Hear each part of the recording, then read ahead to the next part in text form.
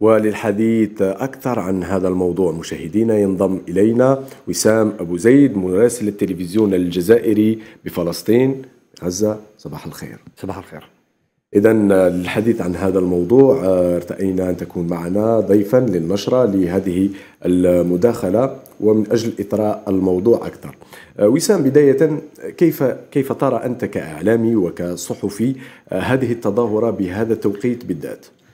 نعم أي شيء يمكن أن يلفت العالم للقضية الفلسطينية فهو شيء مهم جدا للشعب الفلسطيني الذي يعاني مرارة الاحتلال الإسرائيلي منذ أكثر من سبعين عاما. هذه التظاهرة الثقافية وغيرها من التظاهرات أيضا حتى لو كانت رياضية أو أنها تظاهرات بشتى أشكالها تكون وترفع العلم الفلسطيني وترفع الصوت الفلسطيني وتكون عند حسن ظن آهات الفلسطينيين في القدس وفي الضفة الغربية وفي قطاع غزة ستكون مهمة. ربما هذه الفعالية تكون أيضا أو غيرها تكون عاملا مناسبا لكي تكشف كثير من جرائم الاحتلال الإسرائيلي والتي تقترفها هذه قوات الاحتلال ضد الشعب الفلسطيني على مدار أكثر من سبعين عاما. نحن نرى في هذا اليوم هو فرصة مناسبة لكل القوى في القوى العربية والقوى الإسلامية والقوى الشريفة في العالم حتى القوى الدولية أن ترفع صوتها عاليا وأن تطالب بالفعل بإزالة هذا الاحتلال الإسرائيلي وتحقيق الشعب الفلسطيني حقه تحقيق حلمه في تحقيق الدولة الفلسطينية المستقلة. وهذا ما نتمناه جميعا نحن كعرب وكمسلمين. بداية يوم الخميس بالتحديد كانت هناك تظاهرة ثقافية هنا بالسفارة الفلسطينية وكنت أنت من بين الحاضرين. كانت فيها تكريمات كانت فيها كلمة للسفير الفلسطيني بالجزائر كلمة قوية نابعة من القلب بكلمات منتقات ومؤثرة. كيف كان إحساسك في في ذلك في تلك التظاهرة؟ يعني السفير الفلسطيني يعبر عن الكل الفلسطيني. السفير الفلسطيني يعبر عن الرأي الفلسطيني. يعبر عن آهات الشعب الفلسطيني حتى تنقل الصورة من داخل فلسطين إلى الشعب الجزائري هنا. هذه التظاهرة جاءت على هامش إحياء الذكرى الثالثة والثلاثين للاستقلال التي أعلنها الرئيس الراحل القائد ياسر عرفات هنا من أرض الجزائر. هي مناسبة تأتي في وقتها نحاول نحن كفلسطينيين أن نحيي هذه الذكرى على أمل أن يكون عيد الاستقلال يوما من الأيام على الأرض الفلسطينية ونكون قد حققنا فعلا الحلم. نحن اليوم نعيش في كثير من الصعوبات الجمة. اليوم نتحدث عن أسير فلسطيني نائل البرغوثي قضى في السجن أربعين عاما أكثر من أربعين عاما.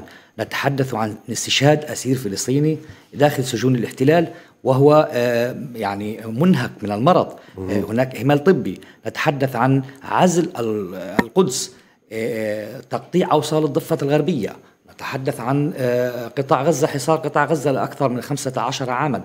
نحن على أمل أن تكون أن نكون يوما من الأيام في الأرض الفلسطينية هذا الاحتفال أن يكون العام المقبل في الأرض الفلسطينية ونرفع العلم الفلسطيني في القدس الشريفة أكيد ومن خلال الثقافة ومن خلال التظاهرات الثقافية حتى البلدان العربية يمكن أن تبدي مساندتها وتضامنها الكبير مع القضية الفلسطينية. من الجزائر إلى تونس وتونس تقيم هذه التظاهرة وفعالية نعم. هذا النشاط الذي يعتبر مهما ومهما جدا للتضامن وإبداء التضامن مع القضية. ما تعليقك على؟ يعني شيء مهم التضامن التونسي معنا.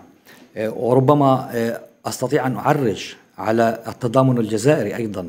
مع قضيتنا في هذا المقام لأن الجزائر هي نموذج ونتمنى من الجميع الدول العربية والقوى الشريفة في العالم أن تحذو حذو الجزائر التي بقيت وما زالت واقفة على موقفها تجاه القضية الفلسطينية وتساند هذه القضية رغم كل الصعوبات ورغم كل المصاعب التي تحاك والمخاطر التي تحاك في الجزائر على مدار السنوات الماضية.